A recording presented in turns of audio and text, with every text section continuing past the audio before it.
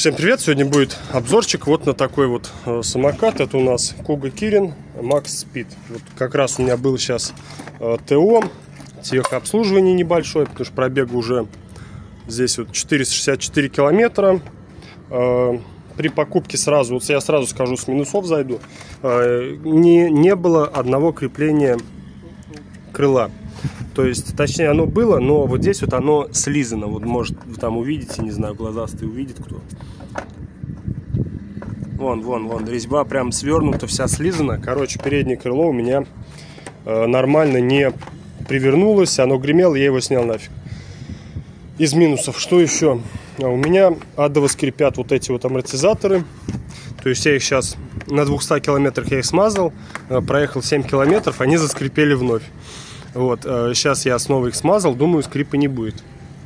А еще здесь вот такой нюанс, что, смотрите, ваш тормозной трос, он в металлической оплетке, и он перетирается об деку. То есть я тут уже вот изолентой колхозил, но это не выход.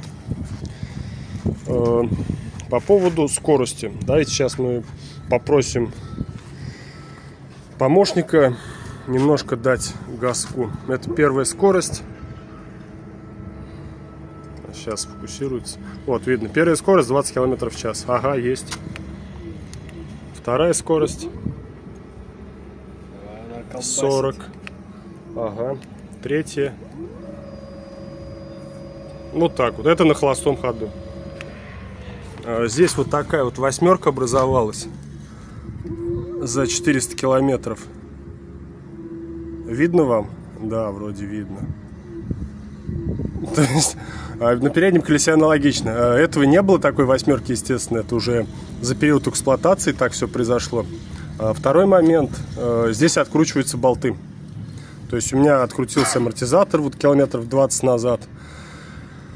Я сейчас все провернул, все протянул. То есть надо смотреть. Раз там в 50-100 километров нужно протягивать все болтовые соединения что касается самоката. Вот в остальном, как бы, машина нормальная. А под мой вес 100 килограммов, он максимум разгоняется до 37 километров. На третьей скорости, соответственно. В принципе, все. Я как бы каких-то вопросов не имею к самокату. То есть за свои деньги он хороший. Покупал я его за 35 тысяч на Озоне. А, пришел он, к сожалению, без документов. Но там в коробке со всеми делами. А, из минусов еще отмечу вот этот вот люфт. Вот, видим. Сейчас фокусирую. У меня китайский телефон, в принципе, как и все китайское. Он тоже плохо работает. Вот, видим люфт. Если я защелкну защелку, ничего не изменится. Люфт все равно будет.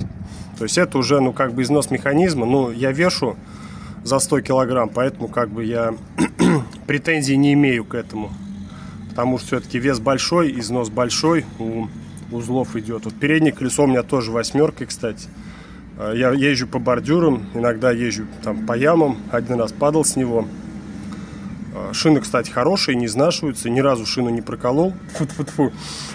За 450 километров.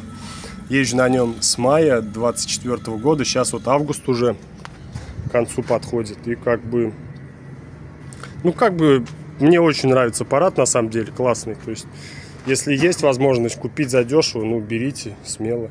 Говорят, у них гниют вот эти вот фонари. То есть, проводка под крылом идет. Вон она. Говорят, они от дождя гниют. Но я в дождь не езжу, поэтому по этому поводу сказать ничего не могу. За 400 километров ничего не сгнило, ничего не отрыгнуло. Тормоза нормальные, нормально скрипят. На этом все. Как бы не знаю, что еще рассказать. Спрашивайте в коммент.